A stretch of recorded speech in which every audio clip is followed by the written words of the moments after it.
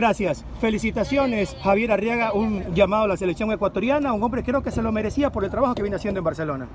Bueno, sí, contento, ahora ya la dio de mano y bueno, este, comprometido ahora más a poder dar, lo mejor de mí este, en esta hermosa oportunidad que se me ha brindado.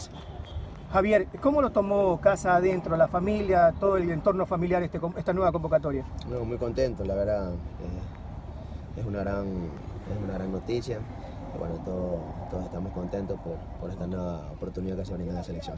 ¿Ya ha podido conversar, ¿ya ha podido conversar este Javier con el profesor Guillermo Armada acerca de esta convocatoria que le ha manifestado al respecto? Sí, sí, sí, ahí nos comunicó y bueno, también nos felicitó. Todo el grupo está, contento por, esta convocatoria. El hecho que lo acompañe Torres y Pineida habla del trabajo que se está cumpliendo en esa saga del Barcelona, Javier. Sí, sabemos de que venimos haciendo las cosas bien y bueno, esto, esto es un fruto de, de buen trabajo que venimos haciendo. Javier, importante los tres puntos ante Católica, hay que conseguirlos mañana. Sí, hemos sido un rival complicado, sabemos de que eh, tenemos que nosotros hacer las cosas bien.